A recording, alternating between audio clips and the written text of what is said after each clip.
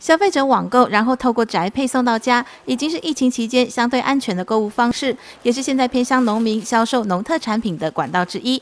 但因为北部的买气太旺，订单爆量难以消化，造成生鲜冷冻宅配无法隔天送到家。因此，水里一位农民廖学静特别将他自己解决问题的方式来分享给大家。用我们喝过饮料的啊，它那个比较厚一点的这个啊，结构比较好的瓶子啊，里面装水。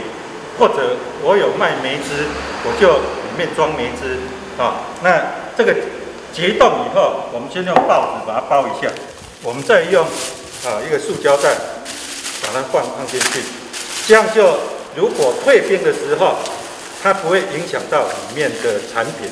疫情期间，网络购物是相对安全又方便，也成为现在水里地区不管是农民还是店家民众，透过社群网站互相纠团交易的方式。另外，中南部的冷冻宅配没有受到北部影响，可以正常配送新鲜蔬果。那像这一种需要放冰块的，我都会利用下午差不多两三点再包装。那要包装的这些蔬果，先冷，先预冷。让它本身已经有达到一个预冷效果，我再来装冰块，我们就放在啊里面。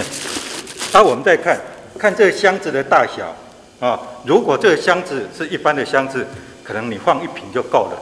如果箱子比较大，可能要放两瓶。这段时间呢，大家如果有收到宅配的东西，请大家一定记得跟宅配人员说声谢谢。第一个，他们的时间工作加长了；再来呢。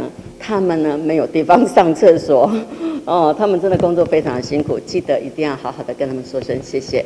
农民利用结冰的水瓶放入宅配箱内，就可以借由常温宅配，新鲜送到北部消费者手中。廖学进推荐给有需要的农民，可以不受影响，继续利用宅配来贩卖新鲜蔬果。记者金玉上线采访报道。